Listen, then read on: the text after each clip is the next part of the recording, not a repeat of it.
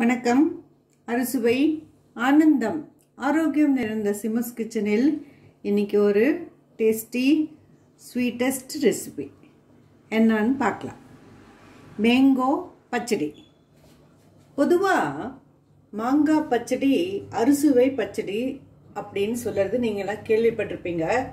அதுவும் தமிழ் புத்தாண்டு அது வேப்பம்பூவை சேர்த்து அறுசுவையும் இருக்கா மாதிரி பச்சடி பண்ணுவாங்க. மாங்காய் அந்த அது மாங்காயில் பண்ணால் ரொம்ப நல்லா இருக்கும். நான் இன்னைக்கு அந்த மாங்காய் கொஞ்சம் பழுத்து உடனே இந்த மாதிரி இருக்கு. இது பண்ணால் ரொம்ப டேஸ்ட்டாக இருக்கும். எங்கள் வீட்டில் எப்படி பண்ணுவாங்க ஸோ அதனால உங்களுக்கு இந்த மாதிரி பண்ணி காமிக்கிறேன். ஒரு மாங்காய் க்யூபாக கட் பண்ணி வச்சுட்டுருக்கேன். அண்டு வெள்ளைப்பாகு அதுக்கு தகுந்த மாதிரி. இது பழுத்து இருந்தாலும் இந்த மாங்காய் கொஞ்சம் புளிப்பாக இருக்கு. அதனால வெல்லம் வந்து கொஞ்சம் நிறைய எடுத்துட்டுருக்கேன் எந்த அளவுக்கு பாகு இருக்குது காமிக்கிறேன் உங்களுக்கு. நெய். தாளிக்க தேவையான அளவு நெய். மிளகாய் ஒன்று. ரெட் சில்லி ஒன்று எடுத்துட்டுருக்கேன் மஞ்சள் தூள் குவார்ட்டர் டீஸ்பூன் உப்பு தேவையான அளவு. பச்சை மிளகாய். உங்கள் வீட்டு காரத்துக்கு தகுந்த மாதிரி நீங்கள் எடுத்துக்கோங்க. எங்களுக்கு தகுந்த மாதிரி நான் எடுத்துட்டுருக்கேன். இது வேக வைக்கிறதால பொடி பொடியாக கட் பண்ணல அப்படியே கிள்ளி வச்சுருக்கேன். வேப்பம்பு ஒரு டீஸ்பூன் எடுத்துட்டுருக்கேன்.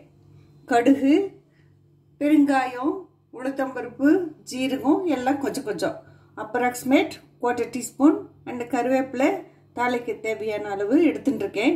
வேப்பம்பு ட்ரை போட்டுருந்தீங்கன்னா இது ஏன்னா வேப்பம்பு சீசன் இல்லை நான் இன்றைக்கி பண்ணச்சே. அதனால இந்த வேப்பம்பு எடுத்துனீங்கன்னா அதில் இருக்கிற தூசியெல்லாம் எடுத்துட்டு க்ளீன் பண்ணி வச்சுக்கணும். அது முக்கியம். அண்டு இந்த பாகு உங்களுக்கு டைம் கிடைக்கிச்சே எப்பயுமே நான் வெள்ளை பாகு தான் யூஸ் பண்ணுவேன். எப்போ நேரம் இருக்கோ அதை நல்லா கொதிக்க வச்சு வடிகட்டி ஃப்ரிட்ஜில் எடுத்து வச்சுட்டா தேவையான அளவு தேவைப்படும் போது யூஸ் பண்ணிக்கலாம். நம்ம நேரம் நம்மளுக்கு மிச்சமாகும். இப்போ பாகு எப்படி இருக்குது காமிக்கிறேன்.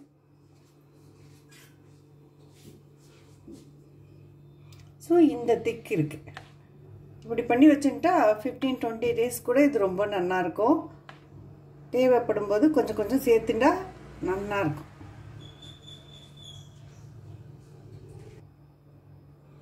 இப்போது நம்ம இந்த மேங்கோவையும் பச்சை மிளகா மஞ்சப்பொடி உப்பு.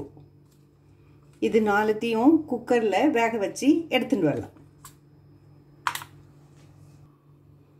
குக்கரில் வேக வச்ச மேங்கோ எப்படி இருக்குது கலர்ஃபுல்லாக இருக்குது இப்போ நம்ம இந்த பாகை இது கூட சேர்ந்து மிக்ஸ் பண்ணிக்கலாம். அல்லது கடாயிலும் சேர்த்து மிக்ஸ் பண்ணிக்கலாம். நெய்யில் நம்ம எடுத்துட்டு இருக்கிறதெல்லாம் தாளிப்பு சேர்த்துக்கலாம் இப்போது அப்புறம் பார்க்கலாம். வேப்பம்பு கடுகு பெருங்காயம் ஜீரகம் அதெல்லாம் தாளித்து எடுத்துட்டு அந்த கடாயில் வேக வச்ச மேங்காய் போட்டிருக்கேன். இப்போ நம்ம இந்த வெள்ளை பாகு சேர்த்து மிக்ஸ் பண்ணலாம்.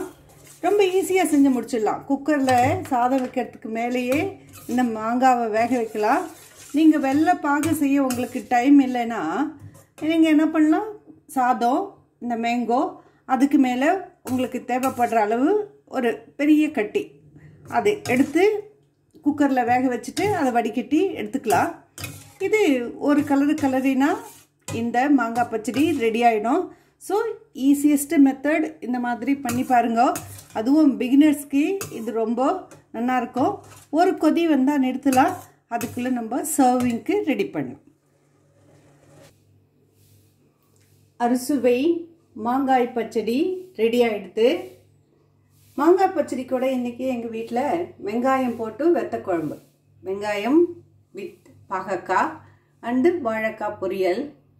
சாதம் ரெடி சாப்பிட்லாம். நீங்களும் சாப்பிட்றதுக்கு வரலாம்.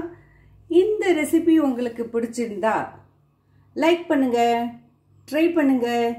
சிம்மஸ் கிச்சனை சப்ஸ்கிரைப் பண்ணுங்க. கூடவே பெல் ஐக்கானையும் ப்ரெஸ் பண்ணுங்க. மாங்காய் பச்சடி பொதுவாக எல்லாருக்கும் தெரிஞ்சிருக்கும். இந்த மாங்காய் பச்சடி நான் கொஞ்சம் அந்த செங்கா அப்படின்னு சொல்லுவாங்க. அதில் பண்ணியிருக்கேன். இது ரொம்ப டேஸ்டாக இருக்கும். இந்த மாதிரி பண்ணி பாருங்கள் ஈஸியஸ்ட் மெத்தடோட இன்னைக்கு சொல்லியிருக்கேன் நான். ஸோ ட்ரை பண்ணுங்க. டேக் கேர் பை பை நன்றி. வணக்கம்.